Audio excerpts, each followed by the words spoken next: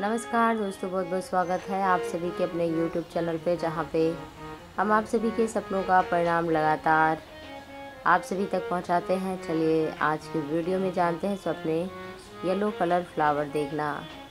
स्वप्न शास्त्र के अकॉर्डिंग स्वप्न में पीला फूल बहुत अच्छा माना जाता है। पीला फूल देखने का अर्थ है, आप ऊर्जावान महसूस करेंगे। किसी काम को सफलतापूर्वक पूरा कर पाएँगे।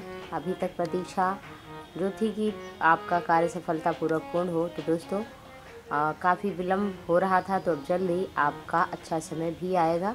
काम पूर्ण होगा, सफलता मिलेगी और आपका सौभाग्य किस्मत जो है, अभी तक आपके साथ नहीं थी, वो कहीं ना कहीं आपके साथ होगी और आपका साथ देगी।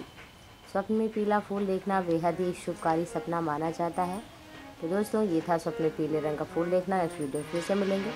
चैनल को सब्सक्राइब करें, बने रहे मेरे साथ। नमस्कार बहुत बहुत धन्यवाद।